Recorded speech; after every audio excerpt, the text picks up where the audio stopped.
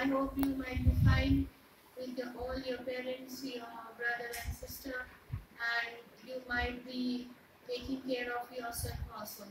Okay, now there are videos uploaded and all the chapters are there.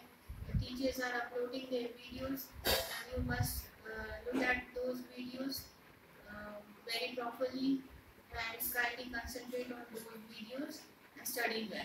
Now let us start with the question. In previous chapter we have discussed about comprehensions, right? Uh, comprehensions which was under reading skills. We have learned our first lesson about comprehensions, right? Under this chapter we came to know that there was a passage given and uh, we need to read the passage very properly, understand the passage, answer its questions, its, its word meaning, its vocabulary and each and every part.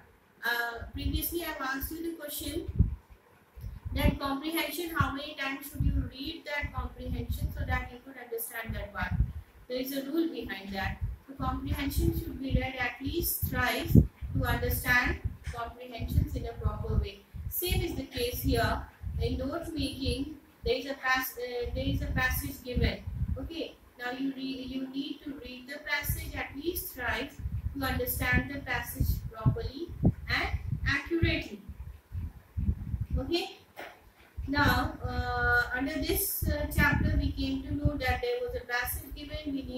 the passage thoroughly, tries to understand each and every aspect and what the passage means to say to us. What is the aim behind the passage? What is the topic? And what is its content, its style of writing, each and everything. And of course, what is the aim behind that? And the subject. So there, uh, so these were the parts which we were supposed to understand. Okay, in a proper way as its language of English, its words, its vocabulary, etc. According to the first chapter, we have studied this. Your second chapter is again dealing with the passage part. So there will be the two passages given to you, one for the comprehension and the other for the note making. In comprehension, the, you need to read the passage, uh, uh, answer the questions, answer the word meaning and vocabulary. But in note making, what is that? You need to read the passage and they have asked you, the question uh, asked that is, and read the passage very thoroughly and make a proper note of that passage, right? So you need to read the passage, understand the passage and make a proper note of that passage. In the, so there will be two passages given to you in the examination, one for the comprehension and the other for the note making. So in note making, the process is same. You need to read the passage, understand its language of English, its questions asked, and then answer in the same language in a proper way and accurately. Now the question arises, what do you mean by note making? What do you mean by note making? Note making in common language, if I say you what is note making? Note making in common language to make notes. Notes of what? Notes of your chapters, notes of your lessons, notes of your articles, notes of your lengthier lessons, lengthier articles, each and everything. Nowadays, there is a proper note prepared to understand those lengthier parts, to understand those lengthier chapters. Okay. Note making in common language means to say that to make notes. Notes of any longer piece of writing, as for example, notes of any lengthy chapters, any passages, any articles, etc. Secondly, question arises, why do we make notes? And what's the use of it? How it is helpful to you? So these are the questions asked.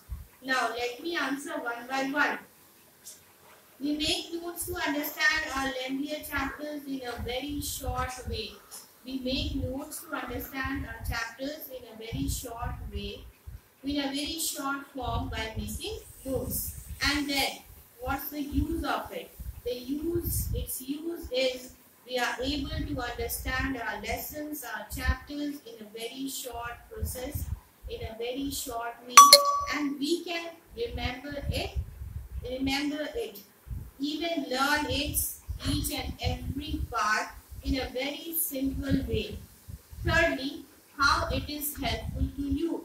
Yes, it is helpful for us by making notes. our lengthier chapters become short in the form of notes.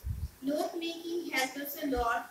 We are able to understand it, we are able to learn it and even remember it in a proper way so that we could so that it could be helped it, could help us in a examination point of view as before the examination we just uh, we just give a short revision to our proper notes which we have prepared at the time of examination and remember in each and every important point which help us a lot before entering the examination hall. Okay, this was the introduction about this chapter. Now we are next by next class we will be moving to the written script. Thank you.